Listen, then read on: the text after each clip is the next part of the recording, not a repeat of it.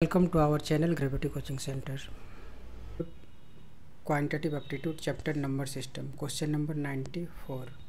25 divide 5 plus 3 minus 2 multiply 4 plus 16 multiply 4 minus 3 equal to what?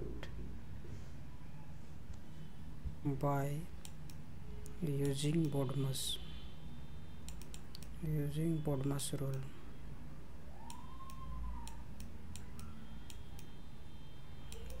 BODMAS so equal to first divide twenty five by five five five J twenty five plus three minus two multiply four bracket close plus sixteen four J sixty four minus three and equal to five plus